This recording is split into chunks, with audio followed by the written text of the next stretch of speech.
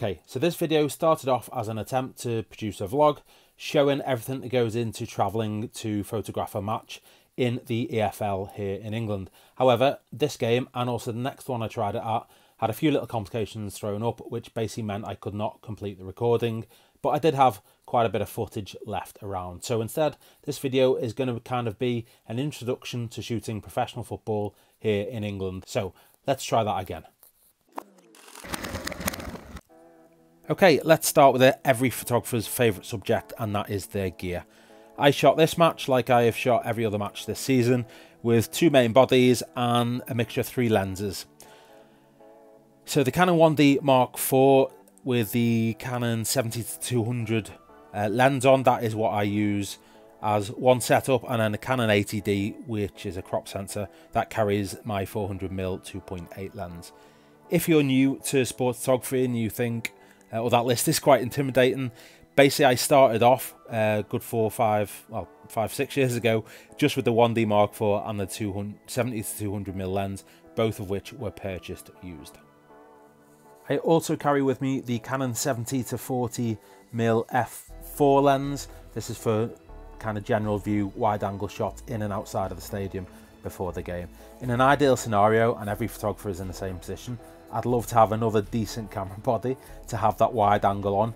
Um, and that's for things like goal celebrations when, when players run up to you, or if you get maybe a nice wide shot of a free kick or a corner or something like that. But um, it's not feasible to change lenses and bodies really as these things happen in the game. And so I generally have the wide angle just for stuff before the game, maybe during warm up, and then that goes back in the bag uh, probably 99% of the time after that. Next thing I just wanted to touch on was the journey and arrival at the stadium you're shooting at. Now, I remember uh, probably the first year I was doing photography uh, within the EFL, I read an interview with, I think it was a photographer from Getty, and they said they arrive at the stadium probably about four hours before a game. Now, they were shooting in the Premier League, but even still, I thought that's quite a long way out from kickoff. Actually, once you kind of start to shoot more frequently, especially when you go into grounds where you're perhaps not so familiar with, or there's a bit of a journey involved as well. Try not to leave yourself rushed. Don't work out that you know a stadium's an hour away or an hour and a half away, and so maybe leave two hours before kickoff because you've still got half an hour spare. You'll probably get away with it, but there'll be several times in the season where you just won't, and you're going to add a whole deal of stress uh, to your journey and to your day. It's just not a good place to start. Try and aim to get there. I, I now try and aim for away games, uh, so games where I'm travelling quite a distance, to get there at least an hour and a half before kickoff if you can. The bonus of doing that as well, if you maybe get there, say, an hour and three quarters before kickoff, quite uh, commonly teams will arrive, or, or, certainly the away teams will arrive on a team coach. If it's a three o'clock kickoff on a Saturday, expect them to get there at about half one. So you can get those early shots. And if you're shooting for an agency or maybe for a club who are trying to tell a story or, or sell photos into live blogs or, or put things out on social media, getting things like the players arriving and getting off a coach, while seems trivial and won't be worth much at 5 pm, when people are scraping around for content at half one in the afternoon, you'd be amazed just how far they can occasionally go. So definitely worth getting there, leave yourself plenty of time, remove the stress and get to the stadium and get those early snaps around and about outside. Maybe there'll be a fixture board, there'll be fans milling around early as well. Upon arriving at the ground, first thing to do obviously is find your accreditation. Now, again, during these COVID times, things have changed up a little bit. Most stadiums have a different entrance than they have previous for the media. There's also red zones, amber zones, etc. I did record a video on all that kind of stuff, but it was so boring. Um, and hopefully we'll see the back of it shortly. But basically, a red zone in the Football League or the Premier League is where only players and match day staff are allowed. And by staff, we mean coaches, officials, and essential people who've been COVID checked, tested, sorry, COVID tested, and have been um, accredited to be within the red zone. Media or photographers, especially, are in the amber zone. Um, most football stadiums, the main stand around the tunnel and, and dressing room area will be red zone, and the other three stands are amber zone. But definitely, first thing to do, find out where you get your accreditation, and then one piece of advice I was given very early doors when I was doing photography was first thing you should do when you arrive at any ground if it's new to you or even if you haven't been for a few years is find a steward or find someone who knows um, maybe they're dealing with the media and just ask where a photographer is allowed it sounds a really stupid question, but you're going to do two things. First of all, you're going to make your day an awful lot easier because you'll know where you can and can't go and you can plan a little bit better for if you're covering a certain team where you may may need to be. And secondly, it's just going to make your, you know, you don't want to be one of those photographers who's really arrogant, who sits somewhere not knowing that they're not meant to be there, but then makes a bit of a fuss and someone has to come and move you. Just be professional, ask where you want to be, make a good first impression. Um, I'm all for, you know, you never know when people will come back into your life at some point in the future or may you know you may rely on them or have a favour to ask them so be polite find out where you can sit where you can't sit any expectations any questions and uh, and go from there.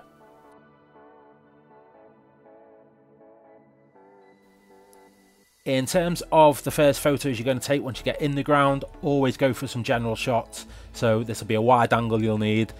Try and get as much of the stadium in as possible. Maybe if you can go in the stands, go a little bit further back and higher up in the stands and get some wide shots. And this is going to be the same for any sport, by the way. So if you shoot rugby or American football or ice hockey or whatever it is you shoot, getting those general views of the venue, of the stadia, of the um, you know perhaps the circuit if you've got an elevated view for a racing circuit, F1 or whatever. Uh, and you, it's always, you know, we talk about getting there early, getting those wide angle shots as general views of stadium. It's a great thing to do before fans get there as well, because it's just great file imagery. If you shoot for an agency, for example, those images could be used for any news stories about that club in the future, not specific to that game. Okay, last thing pre-match. As you can see here, this is at Cheltenham.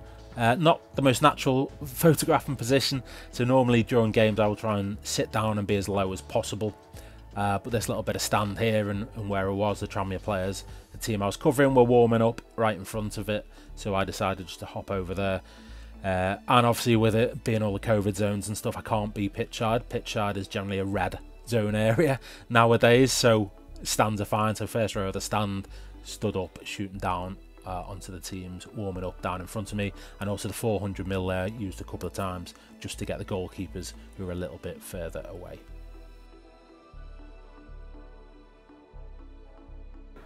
Okay, so game is kicked off.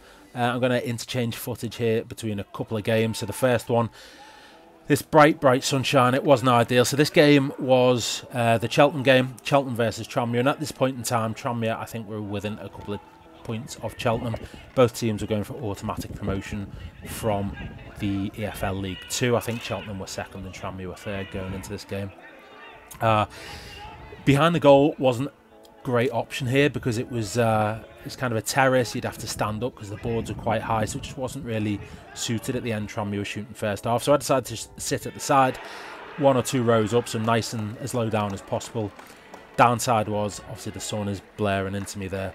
Um, but as it happened, Tranmere did absolutely nothing um, during this game, really, apart from get heavily beaten.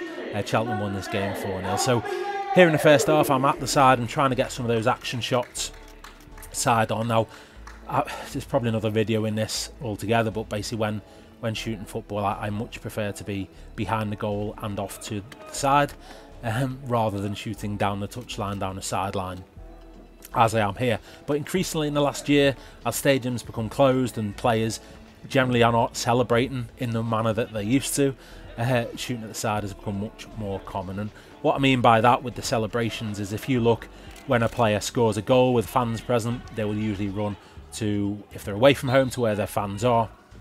And if they're at home and they've got fans to, away to a few different sides, they will generally run behind the goal and off to a side. Uh, generally happens. And I also think the the shots of players having attempts at goal look much better from uh, kind of those wide positions behind the goal. So uh, that is my normal favoured position. However, during COVID, what's happening is players are scoring a goal, and because there's no fans to celebrate with, they instantly turn around and start running back to the middle to celebrate with teammates or maybe towards their bench where the coaches and managers are. That means if you are in those usual positions behind the goals. A lot of your celebrations this last year are going to be of players' backs running away from you, uh, which isn't much good. So, one of the benefits, not my favourite thing to do, but one of the benefits of shooting at the side is that you get those celebrations when the players turn around. I had absolutely nothing from the team I was shooting here because they got heavily beaten. Uh, one other thing just about shooting at the side, you can see this is uh, flipped over to Scunthorpe away where it was a terrible nil-nil draw, so also no goal photos to show you, I'm afraid. Um, but shooting from the side as well does give you better coverage of more of the players. So if you are shooting on only a 70 to 200 lens, for example, as I was for the first year or, or so doing football photography, you're not going to get much further than probably the edge of the penalty area, maybe another five or ten yards beyond that in terms of photos if you're behind the goal. If you're a third of the way up the pitch shooting from the side, then you can probably get the back four, you can get the midfield, and you can get the strikers. So it will get you a better selection of shots. But it is a much, I find it a lot more difficult because it's a lot more side to side. If you're imagining, you know, if you're watching a game of tennis and you're going left, right, left, right, left, right, it's a little bit like that sometimes when you're shooting photography from the side. So, not my favourite thing to do, but for both of these games, first half at least, it is what I did. The other big challenge during the game is if you need to send images live during the match or during the event. Now, several reasons you'll need to do this. If you're working for an agency, you definitely will. If you're working for a club or a certain team, then you probably will as well for things such as social media and things like that. And everyone, certainly club-wise, will use different methods. So if I'm shooting for an agency, I'll be um, captioning them uh, and also then sending them through FTP. Whereas if I'm working for a club, I will generally watermark them and export a high res version as well as the, the smaller compressed watermark version. I've got a tutorial video on that process, by the way, on my channel.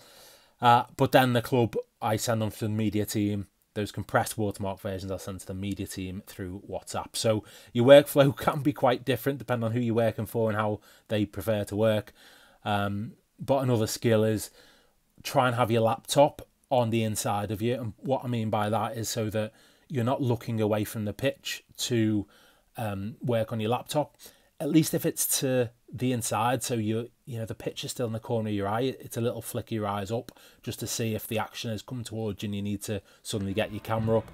Uh, try and keep your camera around your neck and ready, because if your laptop is off to the side and you're turning around away from the main action to to use it, there's a good chance you're not going to see something happen in time, especially these times of behind closed door sports when there's no crowd to give you a hint that a counter attack coming or something like that. So try and put your laptop to your inside so you can keep one eye on the football or the, on the sport that you're shooting.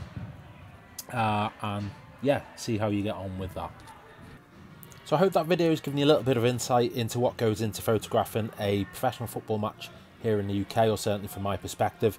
And I'm hoping some of the tips I've given you there around everything from journey to settings to where you want to position yourself and what gear to use. I hope some of it is quite useful to you if you're new to this.